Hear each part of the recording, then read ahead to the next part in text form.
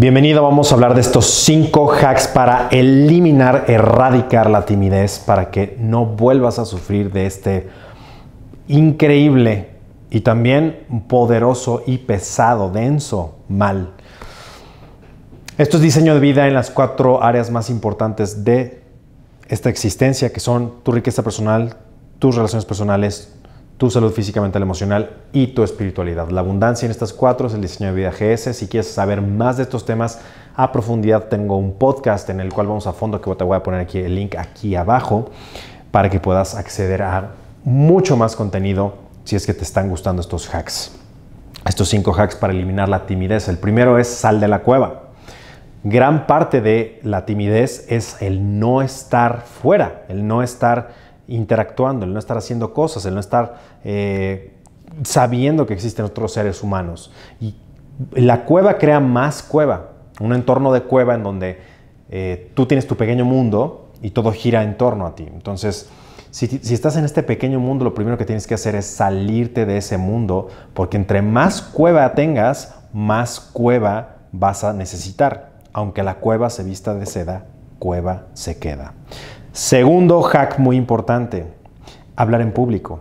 Si te reta hablar en público, si solamente pensar en esto te eriza la piel, tienes que empezar a hacer más de esto. Ya sea que hables de un tema que domines, puedes empezar por pocas cosas, no tienes que hablar en frente de miles de personas, puedes empezar por un pequeño grupo. Solamente que te retes, hablando de algo con lo que te sientas cómodo, es una gran parte para que puedas empezar. Ese es el segundo hack. El tercer hack es familiarizarte. ¿Y esto qué quiere decir? Saber que existen otras personas. Saber el, entender, el dialogar, el simplemente escuchar, familiarizarte con un entorno, un ambiente al que puedas acudir recurrentemente, eso te va a desensibilizar de esto.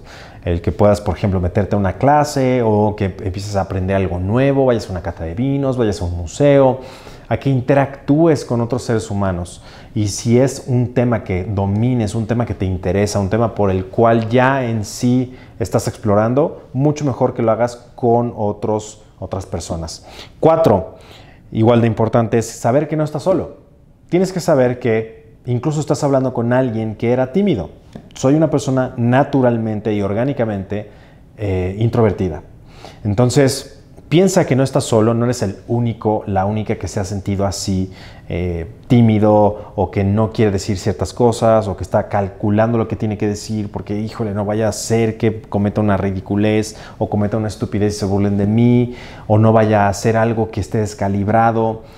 Empieza a cometer errores. Vas a cometer errores como también la gente extrovertida lo hace. O sea, el ser tímido no quiere decir que no puedas hacer las cosas. Tienes que hacerlas y tienes que saber que no es la única persona ni la última en toda la historia de la humanidad que ha padecido de este, digamos, de esta característica, porque ni siquiera es como una enfermedad que digas eh, grave, ¿no? No, no es ni siquiera una enfermedad, es simplemente una tendencia que puedes eliminar, puedes moldear y puedes erradicar.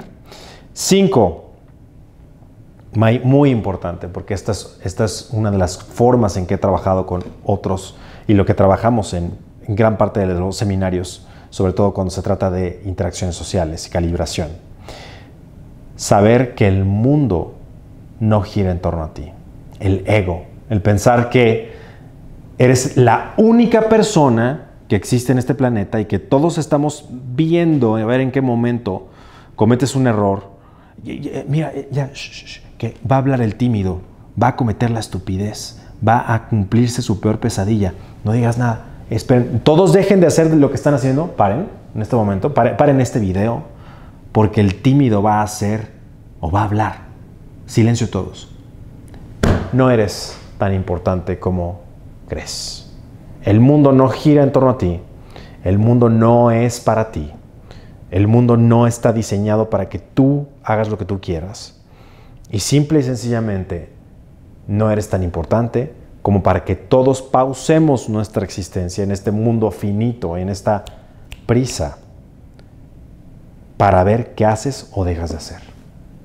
El simple hecho de saber esto te va a liberar mucho de la timidez.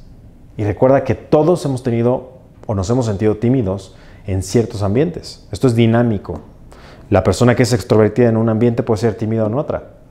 Piensa en esto antes de dejarte abordar y atacar por esta timidez.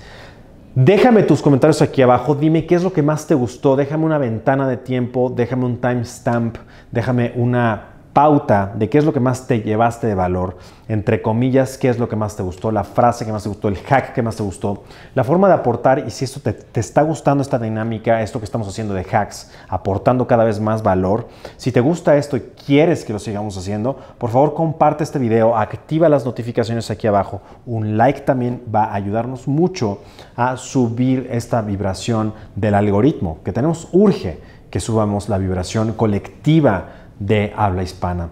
Y con tu ayuda lo vamos a lograr. Así que comparte este video. Recuerda que tu progreso es mi propósito de vida. Tu mejor versión es misión, pasión, emoción, obsesión. Nos vemos en el que sigue y gracias.